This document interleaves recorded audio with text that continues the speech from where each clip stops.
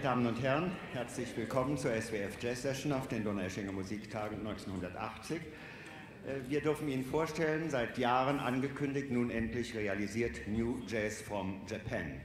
Wir haben drei Gruppen, wenn alles gut geht, vielleicht auch noch als viertes eine Überraschung, aber das muss sich entwickeln.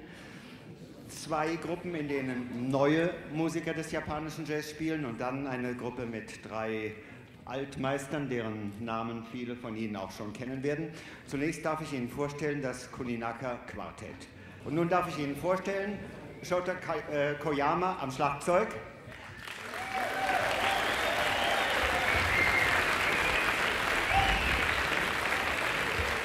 Katsuo Koninaka am Bass.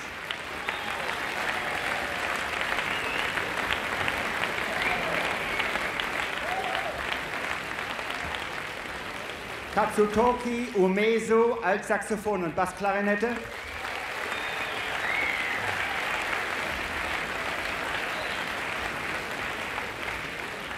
Und Shigeharu Mukai Posaune. Viel Vergnügen.